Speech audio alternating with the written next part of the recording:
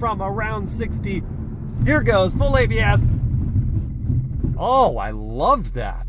The Brembos are so powerful. Hey crew, I've got the key to that 24 Dodge Hornet RT. We are gonna take it for a drive, but first, let's check it out how it looks on the inside and outside. The Hornet is Dodge's all new small crossover and is sort of a vision of the future of Dodge without the Hemi V8 muscle cars. Up front, we have some signature Dodge cues, like this mail slot grille. Above that are the hash marks in red. There is some functional cooling in the center, but these side vents are fake.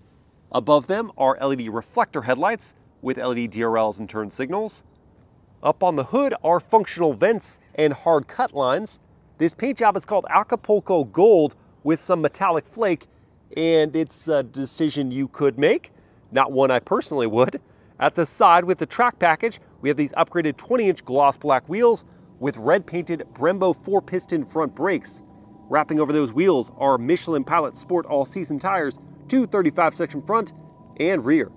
The Hornet shares its underpinnings and silhouette with the Alfa Romeo Tonale, and while attractive, it would look so much better without that wheel gap. Thankfully, Dodge will sell a set of factory lowering springs through direct connection. This RT trim has a charge port door on the left-hand side in addition to the fuel door on the right, and Dodge says from a level 2 outlet, you can replenish the battery in just two and a half hours. Here at the back are more signature Dodge cues like the LED taillight bar with hash marks and your LED turn signals, above a dark gray painted diffuser with two large chrome exhaust outlets. The Hornet styling is reserved from many angles, but still attractive, especially at the front. My question for you is whether you like the new Dodge design. And I'm not just talking about the Hornet, but also that SRT Banshee EV muscle car. Let me know in the comments, and let's check out the interior. Opening up, and whoa, oh, I forgot about that. Um, the door flares out with this extended window trim piece, so you have to be paying attention, otherwise you'll hit yourself in the jaw. And looking inside at this RT Plus trim interior, with black leather seating surfaces and Alcantara inserts that are perforated with red backing. On the doors, hard plastics up high and low. Got this leatherette padding here with red contrast stitching in this textured plastic trim. The Plus models get a Harman Kardon 14 speaker sound system. They're also one touch up down windows. Stepping in, not too bad. Behind my own seat at six feet tall, I do not have much knee room. The seat back is all in leather. There's a nice map pocket and good sized foot pockets. Unfortunately, thigh support is still lacking somewhat. Headroom is not though. Head clears the roof. That gets the thumbs up from me. And in the center, we've got air vents with two USB ports, 1A, 1C. If you want to try to fit in the middle passenger, hmm, you could do that. My head clears here as well. I'm not going to say three full-size adults in the back would be comfortable on a long journey, but it's enough room for your quick lunch break. Armrest comes down with leather padding and two cup holders as well. Let's go to the front next. Door close noise has a little pop to it, but is otherwise pretty solid. Smart keyless entry for the front two doors. The front seats add these red stitched hash marks on the headrests, plus seat heating and multi-way power adjustments. This particular vehicle has a sunroof delete, but normally that's here on the RT Plus, in addition to aluminum accents for the tread plates and foot pedals. The front doors have this piece in injection molding, not hard plastic, power adjusting and power folding door mirrors, and three positions of memory for the driver's seat. Hit this button to deploy the trunk lid. And inside, find a camp chair that I left in here and 23 cubic feet of space. And now that the chair has been magically removed, you're not supposed to show that, Miles. There's a cargo area underneath the floor and a place to kind of just hold the lid for a second. If you want to fold down the seats 60-40, the cargo cover is going to be in the way of you reaching those latches, so you'll have to open up the rear doors, then fold them down, and they don't go completely flat. There is also a power close and lock feature on the trunk lid, and camp chair is back. How? Hopping in the driver's seat, and enjoying the view of this Alfa Romeo style leather wrapped wheel with notches at 9 and 3. It is also heated, it's got a flat bottom to it. Your e-drive modes are here on the wheel, and on the back of the wheel, also borrowed from Alfa Romeo, are these massive aluminum paddles. If those don't make you feel sporty, what does? As standard, we've got a digital gauge cluster that is reconfigurable. No head-up display, and the upper dash does feel kind of cheap, but the lower dash has leather and contrast stitching. As standard as a 10-inch touchscreen with the Uconnect 5 software, it's very responsive, and the visuals are beautiful with wireless Apple CarPlay and Android Auto. Beneath are some physical climate controls. You've got a wireless charging pad, two USB ports, one A, one C, a DC outlet, leather topping your gear selector, and I like that they primarily use this flat black trim instead of gloss black because it wears better. There are two cup holders under the leatherette topped console. We have a very deep storage cubby, though it isn't all that wide. Visibility is solid up until you get to that back pillar, which is a blind spot. Thankfully, you've got standard blind spot monitoring with rear cross traffic. Overall, this cabin is reasonably spacious. It's tech literate and handsome, but at 52,000 as tested, I question some of the trim choices. Now let's take the Hornet RT for a drive.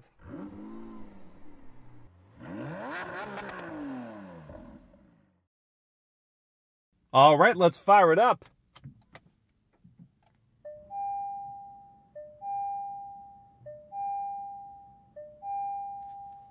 Oh, the chime is so loud. And you hear it more because the Hornet RT always starts in either hybrid or e-drive mode, depending on where you left it. Even if you leave it in e-save mode, it'll default to one of those two. And so the gas engine isn't kicked on initially, and you just hear that kind of obnoxious chime. And on that note of positivity, hello cabin crew. Thank you for joining me for this drive in the 24 Dodge Hornet RT. Our drive modes, we've got one over here, the sport button, but on the wheel are your e-drive modes. And speaking of positivity, I can't say anything really nice about the interaction with this button. It doesn't feel that high quality, and there's occasionally a delay changing the modes. Like there, I hit the button, and it takes a while to actually move on to the next mode. So if you're hurrying it, trying to get to from hybrid to e-save, for example, then you might overshoot it. It should be a dial instead, my personal opinion. We are going to start out in the electric mode, and the EPA rates the Hornet RT at 32 miles of range on a full charge. Right here, it says we've got 26 miles of range at just over three quarters left in the battery pack, so that, that matches up nicely. We'll pull it into reverse next, and that brings up a surround view camera system here off to the left, and a few different rear and front angles to choose from, including trajectory lines, I will pull up the wide angle rear view, my favorite view for safety. And then we'll take it down into drive and kick things off with the turning radius test. Wheel fully cranked. Ooh, bring back up the surround camera. For all-wheel drive, it's not all that bad. Turn signal sound. it's it's like got a, a twang to it. Very peculiar. And the world famous horn test. Ooh. That that sounds like something's loose.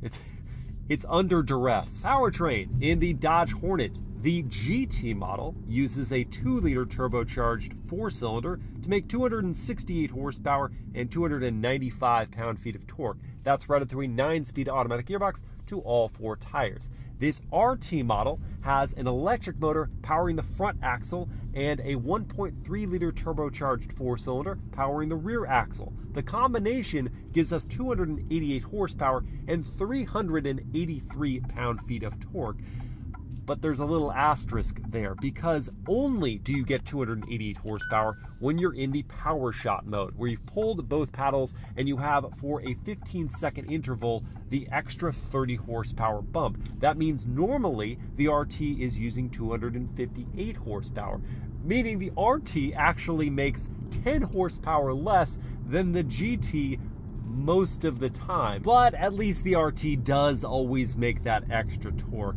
And like the GT, it is all-wheel drive, though, from a different means. And unlike the GT, it's got a six-speed automatic, not a nine-speed. Here in electric drive mode, you're really just operating a 121 horsepower front drive EV, and that's enough for scooting around town, but not much more than that. If you ever did need the maximum output at your disposal, you do full throttle, go past the kickdown, and the gas engine kicks on. Now, if you can avoid the kickdown, then you will stay in electric drive mode until obviously your range runs out or you exceed 84 miles per hour. And that does mean you could take the RT onto the highway in electric mode. But thinking about the lack of power you have and also thinking from a commuter's perspective, it makes much more sense to utilize your electric range on city streets and then use either the hybrid mode or e-save mode on the highway. As far as ride quality is concerned, this RT with the track package has two stages of dampening, and right now in the more comfortable setting, the ride compliance is terrific. It's a little bouncy over undulating road surfaces, but the bumps and ruts don't really rattle you, even on these 20 inch wheels. The seats are pretty comfortable. I wish there was a little more thigh support. As the speeds pick up, staying in electric drive mode, listening for the NVH level.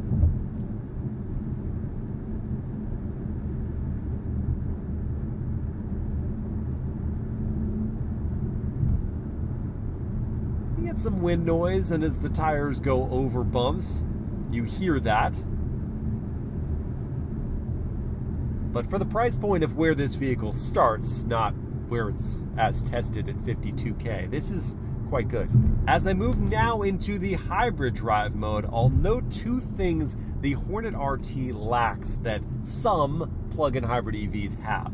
One would be regenerative braking of really any kind. If I take my foot off the throttle, despite the fact that we are on a slight uphill, there's not a whole lot of slowing that actually happens. And two, there's no way to charge the electric battery with the gas engine. There's not a mode for that. The only way to actually charge it is to plug it into an outlet. And I kind of wish it had that so that you could kind of gamify the system a little bit and have it maybe charging on the highway at higher speeds to then use the electric energy for city streets. I will say that the Hornet RT does perform the handoff between gas and electric power seamlessly. So it's prioritizing electric energy in most circumstances apart from when you're coasting or when you're going full throttle. And when the gas engine is at play, you don't feel it kind of coming on. You hear it because it's not a sonorous note. The engine sounds like it's working pretty hard. But you don't feel the disruption of it coming into the equation. But with an RT badge, this vehicle can't really just get away with being kind of smooth. It has to be exciting to drive when you put it in the sport mode. So I'm hitting that and pulling on both paddles for the power shot. We see the icon on the dash and I'm gonna hit it. That was a long delay before it recognized that I was going full throttle. But now, now it's really moving. Okay, I'll power shot it one more time and see if it delays again. There we go. And again, it took a second, not as long that time. And when it has everything going, it's quite quick. Not sure how I feel about the delay though. I'll try it without power shot, just put my foot down.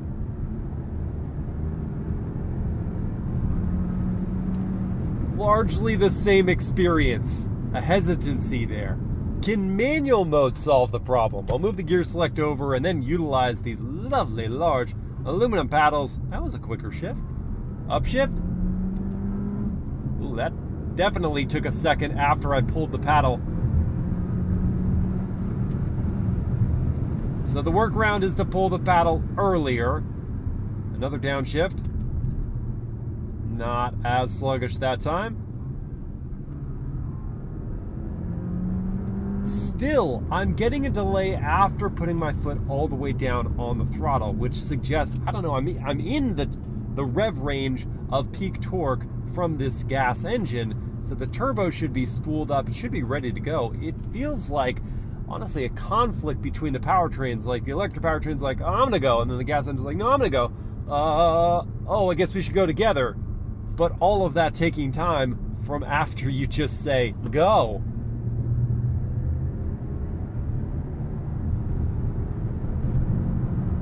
very bizarre. Can't say I like it. But hope is not lost because I've got a real world 0 to 60 test just ahead for the Hornet RT to potentially redeem itself. And my race box is set up to record in the sport drive mode. I'm going to power shot it and brake boost it for the best results. Here it goes. Some tire spin.